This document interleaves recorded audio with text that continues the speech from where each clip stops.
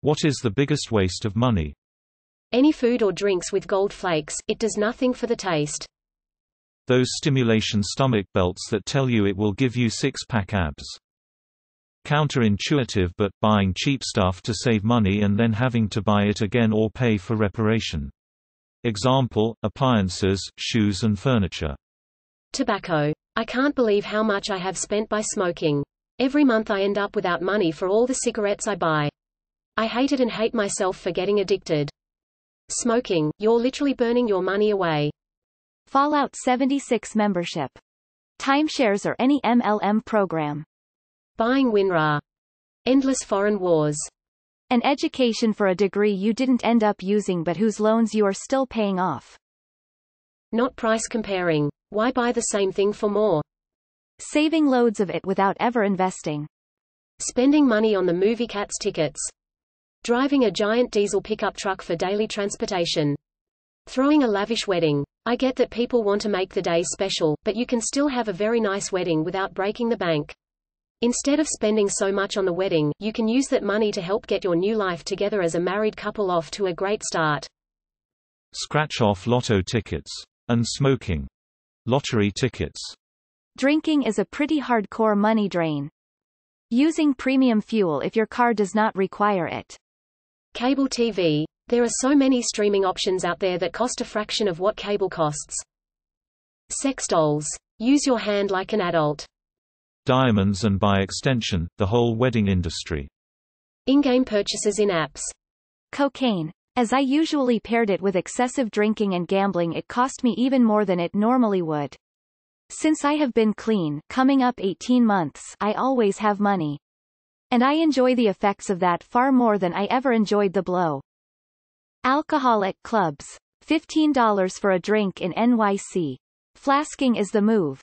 Game skins, never understood the appeal. Big fancy weddings and expensive honeymoons, unless you're absolutely filthy rich. Get married at City Hall, put a down payment on a house and or invest wisely in a retirement fund. Cigarettes, too. TV evangelists. My entire college tuition and other non-essentials. Actually, my entire life tbh. Starbucks. And not cooking at home but eating out or having food delivered all the time. Things like Supreme, Jordans and all these pieces of clothing where you pay for the brand and not the clothing god I hate HYPEBEASTS. Bottled water. The Iraq War. Big weddings. Prostitutes who aren't looking like Danny DeVito.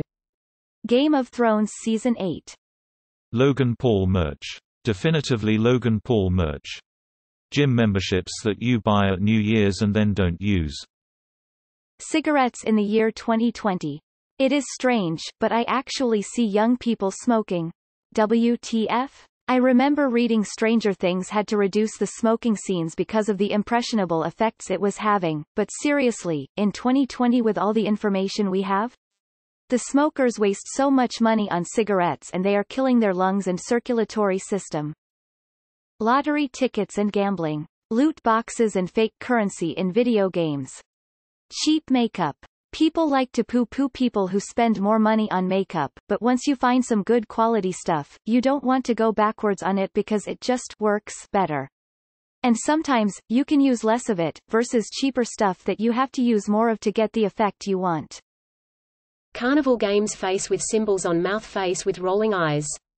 People who update their iPhone every year a new one comes out. Marrying a woman who wants to be a stay-at-home mum, then getting a divorce a couple years later and losing half of your money. When someone gives you a ton of gifts you don't even want and then not use it. Essential oils. Fucking fireworks. Bottled water. Funerals, boom I said it. Have the memorial at your house and just get cremated. Leaving your parents' house at 18. Special goodies and power-ups in app games like Candy Crush. As a smoker I gotta say, cigarettes. They're fucking expensive at least where I live and they last for like two minutes. Tax cuts for the ultra-wealthy. Wedding. You pay a lot for just one day WTF. New cell phone when it's just released. Farm subsidies.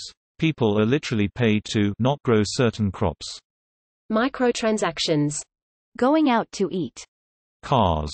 It's absolutely insane how much of people's net worth they will put into a car, or even go deep into negative for them. Honestly I can't help but laugh when my Uber Eats driver pulls up to my house in a brand new BMW. Just buy a used Toyota until you get your shit together and stop wasting huge amounts of money on assets that depreciate faster than just about anything else on the planet. Say it with me. Weddings. Buying million dollar arts that look like scribbles. Trump spending $48 million to go golfing in Florida. Building a giant wall. Anything that ends with premium. If you go to a university, Greek life. It's so fucking stupid. Video game cosmetics. Single-ply toilet paper. War, tobacco and alcohol. Food, how is it that I can go to get food and I'm like man it's only like $6. I keep going and next thing I know I'm wondering where $90 went. Skin packs on first-person video games.